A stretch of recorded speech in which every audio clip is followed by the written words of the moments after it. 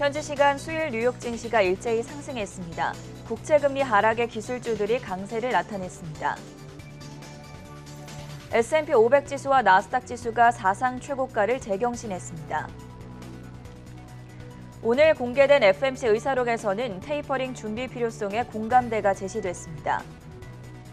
다만 FMC 의사록은 테이퍼링을 서두를 필요는 없다고 강조했습니다. 미국의 5월 채용 공고가 920만 9천 건으로 집계되면서 최대치를 경신했습니다.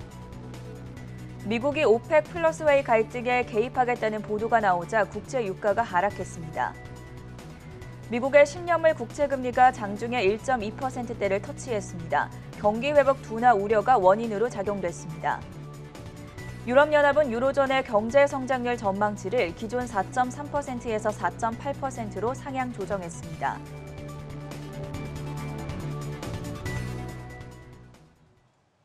여러분 안녕하십니까? 목요일 글로벌 이슈 투데이의 전세원입니다. 30분 전에 마감한 현재 시간 수요일 뉴욕 증시 3대 지수가 일제히 상승 마감한 가운데 나스닥 지수와 S&P 500 지수가 다시 한번 사상 최고치를 경신했습니다. 먼저 자세한 글로벌 마감 시황 박곤 외신캐스터 연결해 보겠습니다.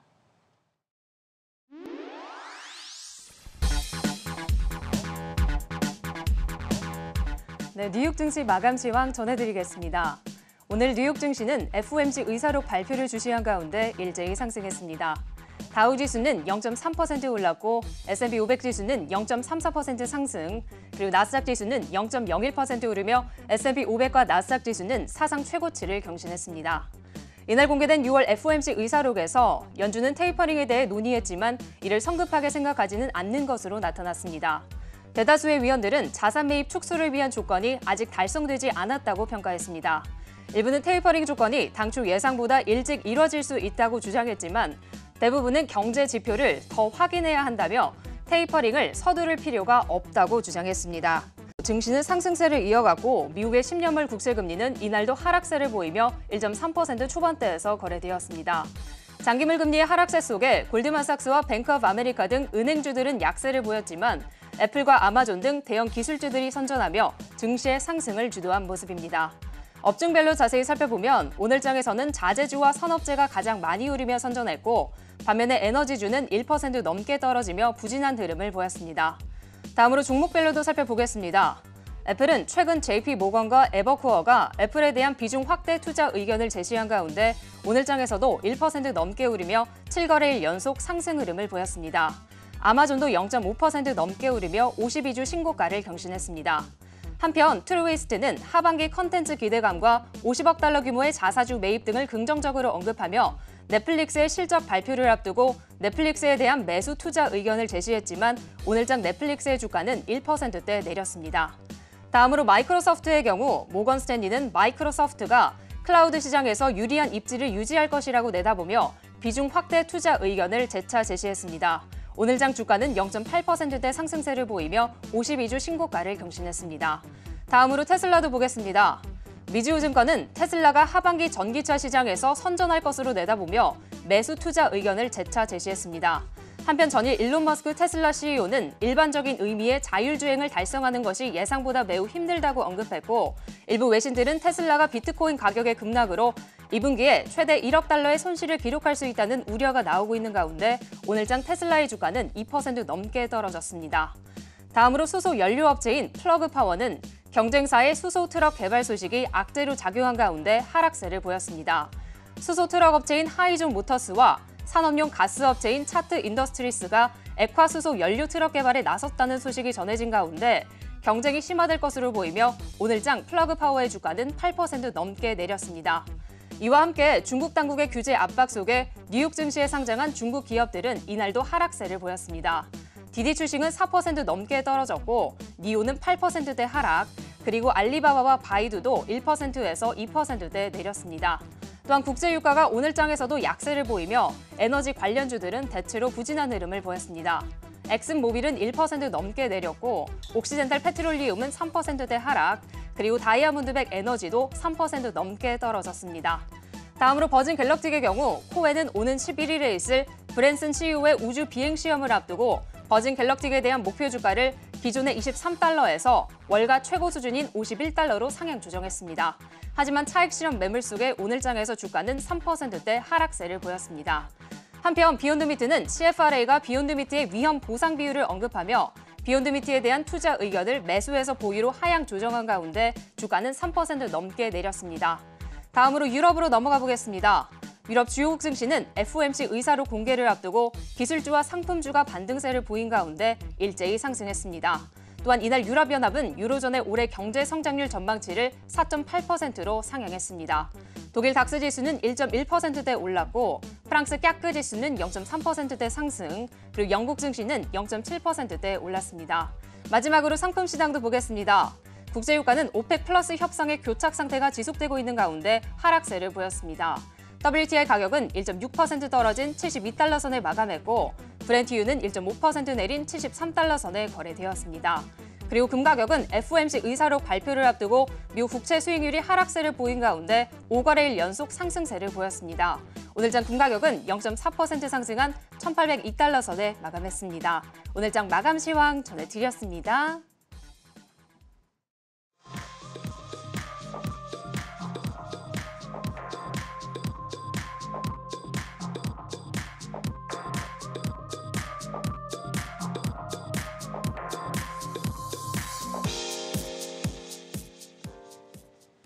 세계 각국의 이슈로 투자자의 든든한 하루를 보장해드리는 글로벌 이슈 투데이 시간입니다. 오늘의 첫 번째 뉴스 화면 통해서 체크해 보겠습니다.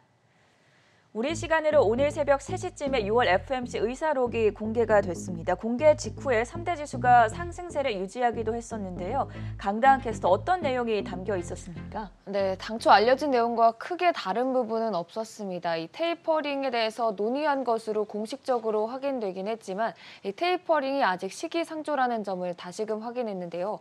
연준은 코로나 팬데믹 이후 매달 국 부채에 대해서 800억 달러와 MBS 400억 달러어치 등 모두 1,200억 달러 규모의 채권을 매입하는 방식으로 시중에 돈을 풀고 있는데 이를 당분간은 계속하겠다는 뜻을 내비쳤습니다. 주택시장 과열을 이유로 국채보다 MBS 매입을 먼저 줄어가야 한다는 주장도 나오긴 했지만 위원회 내에서 견해가 엇갈렸던 것으로 확인됐습니다. 연준 의사록은 특히 7월 27일부터 28일 FOMC에서 자산 매입 축소와 관련해 폭넓은 논의가 있을 것임을 강력하게 시사했습니다. 한편 연준의 다수 인사들은 테이퍼링 즉 채권 매입 축소를 서두를 필요는 없다는 입장을 피력한 것으로 나타났습니다. 대다수의 FMC 위원들은 연준의 통화 정책 방향을 바꾸는 조건인 미국 경제 실질적인 추가 진전을 아직 충족하지 못했다고 밝혔습니다. 테이퍼링을 서두를 필요가 없고 정책 변화에 시장이 잘 대응해야 한다는 게 다수의 시각이었습니다. 즉 6월 FOMC 논의 테이블에 테이퍼링이 올라온 건 맞지만 이를 서둘러 진행해야 한다고 주장한 이는 거의 없었던 것으로 전해지고 있습니다. FOMC 위원들은 앞으로 있을 회의에서 연준 목표에 대한 경제 진척의 정도를 평가하고 테이퍼링 계획에 대해 논의하기로 했다면서 테이퍼링 발표에 앞서서 사전에 공지해야 한다고 덧붙이기도 했습니다. 시장에선 연준 위원들이 예상보다 일찍 긴축을 시행할 필요성을 강조했다면 금리가 위쪽으로 방향을 틀 가능성 을 계속 염두에 두고는 있는 상황인데요. 반대로 점진적인 긴축 가능성이 재확인될 경우 금리는 계속 하락세를 유지해서 주식에는 실제로 긍정적으로 작용할 가능성이 큽니다. 이 화면 속 표를 보면 지난해 하반기부터 올 초까지 10년물 금리는 무서운 기세로 상승했는데요. 투자은행 BMO 캐피털은 국채금리가 지속적으로 오를 것으로 전망한 전망 분석가들이 항복을 선언했다고 말했습니다. 긴 연휴가 끝난 지난 6일 미국 채권 30년물 수익률은 2월 이후 처음으로 연 2% 아래로 떨어진 이후 계속 하락세 이어가고 있고요. 10년물 역시 오늘도 하락하면서 1.31% 가리키고 있습니다. 시장에선 연준의 조기 긴축 우려가 줄면서 금리 상승 동력이 약해졌다는 분석입니다. 6월 FMC 크게 놀라운 소식은 없었지만 다시금 시장에 안정감을 주면서 주식시장, 채권시장 모두 긍정적으로 반응 반응하는 모습입니다. 네, 첫 번째 소식으로 오늘 새벽에 공개된 FMC 의사록 결과 내용에 대해서 자세하게 짚어드렸고요. 두 번째 이슈는 유럽 쪽 상황 확인해 보도록 하겠습니다. 네, 유럽연합이 유로존의 올해 경제 성장률 전망치를 4.3%에서 4.8%로 상향 조정했습니다. 특별한 이유라도 있었을까요, 홍성진 캐스터? 네, 맞습니다. 유럽연합이 유로존의 올해 경제 성장률 전망치를 4.8%로 상향 조정했습니다. 유럽연합 집행위원회는 현지 시간 7일 공개한 분기 경제 전망 보고서에서 올해 1분기 유로존 경제가 예상보다 빠르게 개선됐다고 전했는데요. 이뿐만 아니라 2분기에도 강한 회복세가 관찰됐다면서 경제 성장률 전망치를 이 같은 수치로 조정했다고 밝혔습니다. 앞서 유럽연합은 지난 5월에도 경제 성장률 전망치를 상향 조정한 바 있는데요. 당시 유럽연합 집행위원회는 백신 접종률이 꾸준히 오르고 있다면서 봉쇄 조치 같은 제한 정책들도 완화됨에 따라 경제가 향후 강하게 반등할 거라고 전했습니다. 또 이 같은 이유를 근거로 기존 전망치였던 3.8%에서 0.5%포인트 올린 4.3%를 올해 경제 성장률 전망치로 제시하기도 했었습니다. 하지만 지난 5월에 이어 7월에도 전망치를 상향 조정하자 시장에 관심이 모이게 된 건데요. 이에 대해 유럽연합 집행위원회는 효과적인 코로나19 백신 전략 덕분이었다면서 3, 4분기 중에 유로존 경제가 예상보다 더 빠른 속도로 재개할 것이라고 밝혔습니다. 또 이번에 진행된 전망치 수정은 지난 10년 사이 가장 큰 조정에 해당된다면서 기업들의 투자 심리가 최근 몇 달간 역대 최대치를 기록한 것에 부합한다고 전했습니다. 한편 이날 발표된 경제전망 보고서에는 인플레이션과 관련된 내용도 담겼는데요. 유럽연합은 올해 물가 상승률 전망치를 1.9%로 예상하면서 기존의 1.7%에서 0.2%포인트 올린 것으로 확인됐습니다. 이에 대해 집행위는 인플레이션 상승을 계속 주시하고 있다면서 내년에 있을 물가 상승 압력은 공급 제약이 해소되고 수급이 균형을 찾음에 따라 점차 완화될 것이라고 전했습니다. 또 코로나19 팬데믹 사태가 지난해 비해 많이 나아졌지만 여전히 델타 변이 바이러스라는 팬데믹의 그림자가 존재한다면서 안정적인 경제 회복을 위해 이런 위험 요소들을 예의주시해야 된다고 덧붙였습니다. 팬데믹 사태가 지난해에 비해서 많이 나아지기는 했지만 여전히 델타 변이 바이러스라는 이 팬데믹의 그림자가 존재한다. 상당히 의미 깊게 좀 짚어봐야 할 부분인 것 같아요. 세 번째 뉴스로 넘어가 보도록 하겠습니다. 자, 미국 그리고 유럽에 이어서 일본에는 일본 쪽 상황을 확인해 보도록 하죠. 올림픽 개회식을 보름 앞둔 일본 도쿄에서 코로나19 신규 확진자가 900명을 넘어섰다고 합니다. 긴급 사태 재선포가 불가피한 것으로 전망되면서 올림픽 무관중 여부에도 관심이 쏠리고 있는데 강다은 캐스트 현재 일본 상황이 어떻습니까? 네, 우리와 마찬가지로 4차 유행 가능성이 전 세계적으로 불거지고 있는 상황입니다. 일본 도쿄 지역의 코로나 긴급 사태 다시 선포될 예정입니다. 이에 따라 23일 개최 되는 도쿄 올림픽은 무관중으로 치러질 가능성이 커졌는데요. 도쿄는 어제 신규 코로나19 확진자가 920명이라고 발표했습니다. 도쿄 지역의 하루 확진자가 900명을 넘어선 것은 지난 5월 이후 약 8주 만인데요. 도쿄 인구는 약 1,400만으로 신규 감염자가 하루 500명을 웃돌면 긴급사태 선포 상황으로 분류됩니다. 때문에 일본 정부는 긴급사태를 다음 달 22일까지의 기한으로 다시 선포할 예정이라고 외신을 통해 전해지는데요. 해당 방침은 오늘 일본 정부 주도의 코로나19 대책본부 회의에서 공식적으로 결정됩니다. 한편 유럽 쪽은 확산세에도 불구하고 빠르게 경제 재개 행보를 보이고 있습니다. 영국 정부 집계에 따르면 현지 시간 7일 코로나19 신규 확진자는 3만 2,548명으로 1월 하순 이후 처음으로 3만 명을 넘어서면서 약 5개월 반 만에 최다를 기록했습니다. 그러나 이 기사를 보면 영국 히스로 공항은 코로나19 백신을 2회 접종한 이용객들을 대상으로 신속 통로를 운영한다고 밝혔는데요. 백신을 접종했다는 증빙을 종이나 디지털 형태로 제시하면 입국 심사를 빨리 받게 되는 것입니다. 영국 정부는 10일간의 자가격리가 필요한 한국과 같은 황색 국가가 입국하더라도 백신을 2회 접종했다면 자가격리를 면제하는 정책을 도입할 계획입니다. 대신 입국 전과 입국 후 2일차에 유전자 증폭 검사를 받도록 할 것으로 보입니다. 해당 사항은 그랜트 셉스 교통장관이 현지 시간 8일 이와 관련한 교통 규정을 발표할 것이라고 보도했습니다. 보리스 존슨 총리 역시 마스크 등 다른 규제가 풀리는 19일부터 이 제도를 바로 적용하길 바란다고 전해집니다. 프랑스 또한 델타 변이가 확산하고 있는 남서부 지역의 봉쇄 조치를 지난 6일에 이미 해제했고요. 오는 9일부터는 예정대로 나이트클럽 등의 재개장을 허용할 예정입니다. 독일 역시 백신 접종률이 60%에 육박하면 서 오는 8월에 사회 경제적 제한 조치를 모두 해제한다는 목표를 아직까지 수정하지 않고 있습니다. 전 세계적으로 코로나19 확산세가 심각하지만 대응 방침에 있어서는 상이한 모습 확인할 수 있었습니다. 세계 각국의 코로나19 바이러스 대응 상황에 대해서 짚어봤고요. 네 번째 뉴스 체크해 보겠습니다. 종목별 이슈가 올라와 있습니다. 디디 추싱이 어제 20% 급락한 데 이어서 오늘도 4%대 하락 마감했는데요. 중국 당국의 규제 여파가 지속되는 모습입니다. 그런데 이번에는 디디 추싱의 규제가 테슬라에도 영향을 줄 수 있다 이런 가능성이 제기가 됐는데 홍성진 캐스터 어떤 내용이었습니까? 네, 최근 디디 추싱에 대한 중국 정부의 규제 정책이 향후 테슬라에게도 영향을 미칠 수 있다는 분석이 나왔습니다. 현지 시간 7일 CNBC는 이 같은 내용을 모건 스탠리의 보고서를 통해 전했는데요. 모건 스탠리는 중국 규제 당국이 현재 데이터 보호 강화 움직임을 보이고 있다면서 이는 자율주행 기술에 충분한 데이터가 필요한 테슬라에게 악재가 될 거라고 밝혔습니다. 앞서 중국 규제 당국은 지난 4일 구글 플레이 스토어 등에서 디디 추싱 앱을 제거하도록 조치를 취한 바 있는데요. 규제 당국은 디디 추싱이 개인정보 수집 및 사용 규정을 위반했다면서 국가안보 위반 혐의도 의심된다고 밝혔습니다. 이와 관련해 월스트리트저널은 어제 익명의 소식통을 빌려 디디 추싱이 미 증시에 상장되기 몇 주 전부터 이미 중국으로부터 IPO 연기 소식을 들었지만 디디 추싱이 이를 무시하고 IPO를 강행하자 이 같은 조치를 내린 것으로 전했습니다. 이에 한때 공모가 대비 큰 폭으로 오르며 16달러에 육박했던 디디 추싱은 하락세를 면치 못하고 오늘장에서는 11달러 선에 거래됐는데요. 여기에 중국이 앞으로 자국 기업의 미국 등 해외 증시 상장을 강력히 규제하겠다고 밝히면서 디디 추싱을 비롯해 미 증시에 상장돼 있는 중국 기업들의 미래가 불투명해진 상황입니다. 한편 이와 관련해 모건 스탠리는 중국 규제 당국의 정책이 중국 기업들을 넘어서 해외 기업들까지 영향을 미칠 수 있다고 밝혔는데요. 모건 스탠리는 자국 데이터를 보호하려고 하는 이 같은 정책이 여러 기업들 가운데 특히 테슬라에게 악재가 될 거라고 전했습니다. 현재 테슬라가 차량 내 자율주행 기술을 완성하기 위해서는 데이터가 필요한데 중국 정부가 이를 규제할 가능성이 높기 때문입니다. 또 이 같은 악재에 앞서 테슬라는 이미 중국에서 여러 차례 난항을 겪은 바 있는데요. 가장 최근 사건인 6월의 경우에 차량 안전 시스템에 문제가 있다는 보고를 받고 소프트웨어 업데이트를 위해 문제 차량 약 28만 대를 중국에서 리콜 조치한 바 있습니다. 하지만 이 같은 중국의 압박에도 모건 스탠리는 테슬라에 대한 낙관적인 입장을 유지하고 있습니다.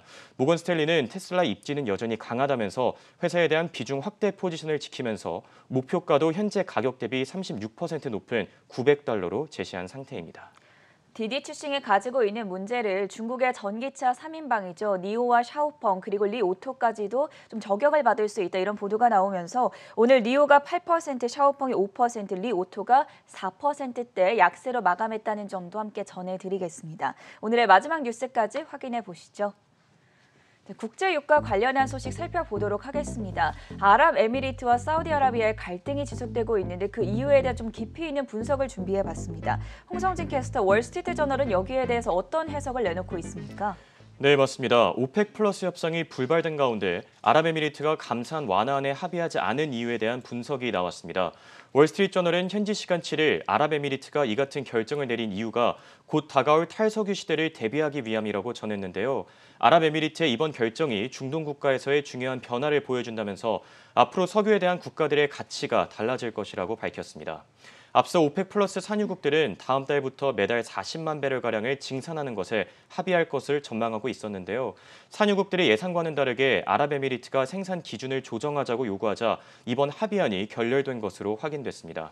현재 아랍에미리트는 점진적 감산 완화에는 동의하지만 생산 기준 조정을 통해 생산량을 확대하길 바라고 있는데 이 같은 의견에 사우디아라비아가 반대 입장을 표명한 상태입니다. 한편 월스트리트저널은 아랍에미리트의 이번 결정은 미래를 위한 전략이라고 평가했는데요. 다가올 탈석유 시대를 대비해서 지금처럼 석유에 대한 수요가 강할 때 원유 생산량을 최대로 늘려 계획한 것이라고 분석했습니다. 또 이 같은 생산량을 통해 향후 석유에 대한 수요가 떨어지기 전에 최대한 수익을 극대화하려는 것이라고 전하기도 했습니다. 한편 이번 아랍에미리트의 결정에 대해 월가의 애널리스트들 역시 의견을 밝혔는데요. 프라이스 퓨처스 그룹은 아랍에미리트가 이번에 보인 행보는 향후 오펙 플러스를 탈퇴해 하루 400만 배럴의 원유를 생산할 가능성이 있다는 걸 보여준다고 전했습니다. 또 로이터 통신은 오펙 플러스 산유국의 소식통을 인용해서 오펙 플러스의 안정적인 협상 진행을 위해 러시아가 나섰다며 사우디아라비아와 아랍에미리트 간의 중재를 위해 노력하고 있다고 밝혔습니다. 이어서 JP모건 역시 이번 사태와 관련된 입장을 전했는데요. JP모건의 에너지 담당관은 현재 역사적 동맹이 시험대에 올랐다면서 이들의 경쟁 관계는 더는 원유 시장뿐만 아니라 탈석유 경제를 위한 것이다 라고 전한 상태입니다. 홍성진 그리고 강당 외신캐스터와는 여기서 인사드리겠습니다. 수고하셨습니다.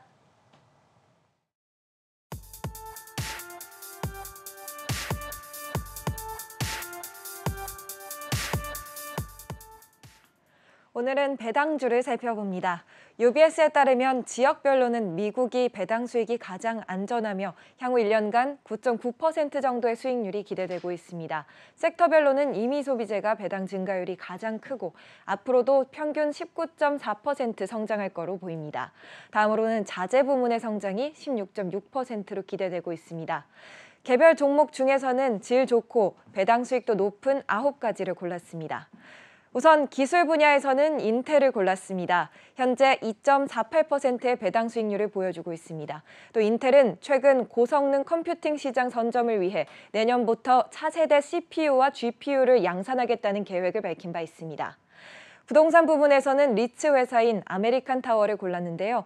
특히 통신 인프라를 운영하고 있는 회사로 2.07%의 배당 수익률이 기대된다고 봤습니다. 아메리칸 타워는 지난 6월 1일 텔시우스 통신 타워 인수를 마무리했습니다. 유럽과 남미 지역 통신 셀 타워 3만 개를 인수하는 거래로 미국에 이어 유럽 5G 도입 가속화 상황에 긍정적인 기대를 모았습니다. 또 유틸리티 섹터에서는 재생에너지 회사 넥스트에라 에너지의 2.18%의 배당 수익률을 전망했습니다. 한편 UBS는 에너지 부문이 배당이 감소할 리스크가 가장 큰 섹터라고 보고 있었는데요. 그중에서도 석유 회사 이오지 리소시스는 유망하게 봤습니다. 2.3%의 배당 수익률이 기대되고 있습니다. 산업재 부문에서 군용 조선사 헌팅턴 잉걸스가 꼽혔습니다. 특히 조 바이든 대통령이 중국 견제를 위해 무기 현대화에 집중하고 있는 상황에서 헌팅턴 잉걸스가 계속 국방비 지원을 받을 예정입니다. 또 헬스케어 부문에서는 미국 제약회사 머크가 3.41% 배당 수익률이 기대된다 보며 UBS의 선호 종목으로 꼽혔습니다.